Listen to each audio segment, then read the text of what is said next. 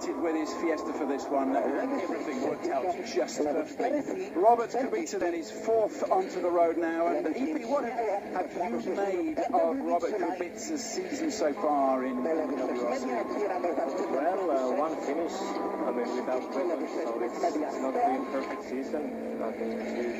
Last year he was absolutely fantastic. First year he won the championship immediately in WRC2, but this year has really showed that this is not so easy.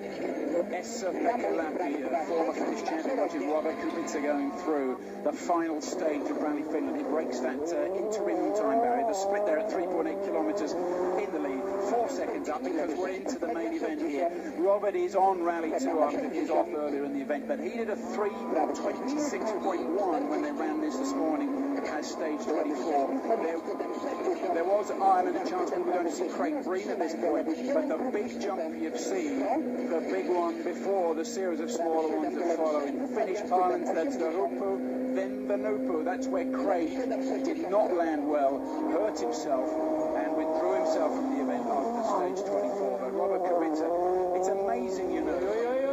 Not here, Robert. Not now. It was quite close. What are we? Two, three Ks before the end. Now it's coming the big Right. jump. Silence, everybody. Okay, we can breathe again. Henning Solberg getting himself ready. Top right-hand corner of the screen for you. There he goes.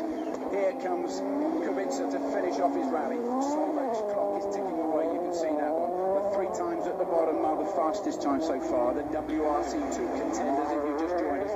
And this is Kubica, uh, his co-driver, Maciek Szczepaniak, said to me, just you wait till we get on tarmac. And um, EP, there's a lot of tarmac to come in this championship. Yeah, that's true. He's very, very, uh, he has very good self-confidence in tarmac.